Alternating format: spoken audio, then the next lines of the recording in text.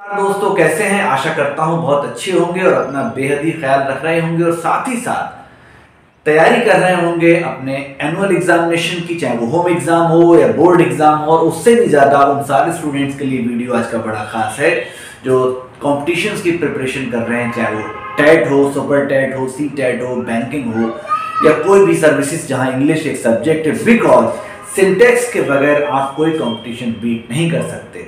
तो आइए शुरू करते हैं आज का वीडियो।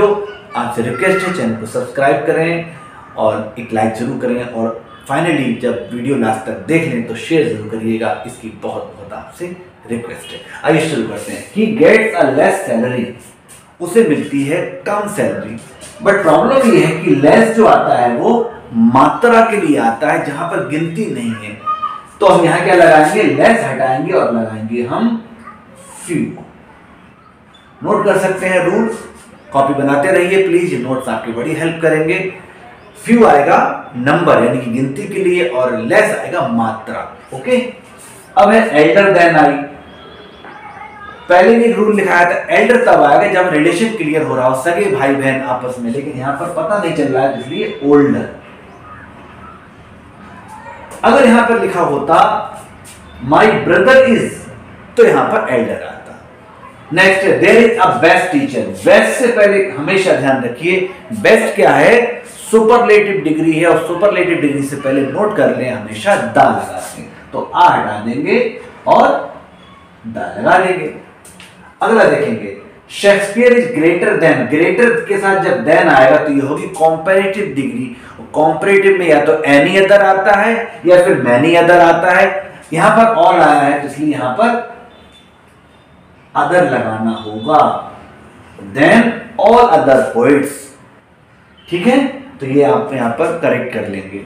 अगला है this is a worth seeing sight seen नहीं होगा, बल्कि यहाँ हो जाएगा वर्थ सीन साइट दर्शनीय, देखने योग्य। अगला है there are fewer water in the tank अब आ गया वाटर जो है पानी पानी मापा जा सकता है, तोला जा सकता है, लेकिन काउंट नहीं किया जा सकता जो हमने ऊपर रूल देखा। तो यहाँ पर फ्यूअर की जगह आएगा लेस और पानी हमेशा सिंगुलर नंबर में होगा तो कभी आर नहीं आएगा, बल्कि आएगा यहाँ पर इज़ ठीक है? इंटरेस्टिंग है ना रूल अच्छा लगे तो प्लीज़ लाइक करें शेयर ज़रूर करें सब्सक्राइब करें। Have you anything farther to say ध्यान दीजिए फार्दर का होता है मतलब दूरी। फार माने दूर तो फार्दर और दूर। लेकिन यहाँ पर दूरी की बात नहीं, कुछ आपको और कहना है तो कुछ और के लिए हमेशा आएगा फर्दर। तो ए हटा देंगे और यहाँ फिर यू लगा देंगे। ए हटा के यू लगाया, फार्दर, दूरी, फर्दर और कुछ कहना है। इससे आगे, इसके अलावा, ठीक है? Mister Sohanlal is the most unique teacher unique अपने आप में अद्भुत या विचित्र होता है तो इसमें मोस्ट लगाने की ज़रूरत नहीं है। तो द मोस्ट हटा देंगे। केवल Mister Lal is a unique teacher हमेशा ध्यान दें और इंपॉर्टेंट रूल है। अगर वर्ड यू से शुरू है और प्रोनाउंस भी यू हो रहा है, जैसे यूनिटी यूनियन यूनिक यूनिवर्सिटी ठीक है? उससे पहले हमेशा ए आएगा कभी एन नहीं आएगा एन तब आएगा जब लिखा जाए यू और बोला जाए कुछ और, जैसे अननोन या अम्ब्रेला क्लियर अच्छा लगा तो प्लीज़ वीडियो शेयर ज़रूर करें। नमस्कार।